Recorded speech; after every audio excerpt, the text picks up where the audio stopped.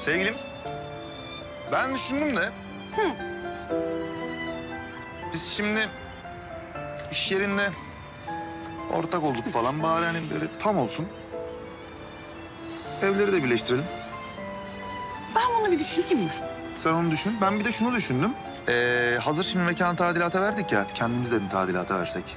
Yani tatile mi gitsek? İtalya biletleri. Mesela evet. Bence mükemmel bir fikir. Hem senin orada böyle geniş geniş bir şeyleri düşünme. Hani birlikte yaşamak gibi durumlarımızı böyle düşünme, değerlendirme gibi zaman da olur. Ve fırsatın da olmuş olur. Hayır cevap olarak kabul etmeyeceksin değil mi? Evet. Orada uzun uzun düşünürüm. Güzel ama hani bunu düşünürken şunu göz ardı etmeden düşün. Hani bir ömür boyu gibi yaşamaktan ben bahsediyorum. Ömür boyu derken? Ömür boyu derken şöyle... Tanıştığımızda hatırlıyor musun? Böyle bir şeyler anlatıyordum sana ilişkilerle, erkeklerle ilgili falan. Hatırlarsın. Hmm, unutmam mümkün ki. İlişki koçumken. Evet.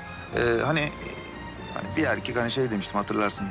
Hani bir erkek e, hani bir kadına tanıştığında en geç üçüncü görüşmesinde falan evlenip evlenmeyeceğine karar veriyor. Hani üç ay içerisinde hani ilk adımı atmazsa hani zaten sen bu ümidi kes demiştim. Hatırlarsın. Hatırlıyorum. Güzel. İşte sen hani o takside benim yanıma oturdun ya. Ben zaten orada anlamıştım hayatımın kadın olduğunu. Ve benim işte bunu kabullenmem falan kendimi itiraf etmem bir tık zaman aldı.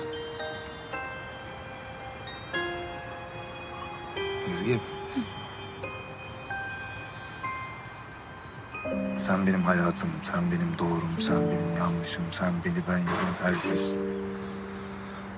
Benimle evlenir misin?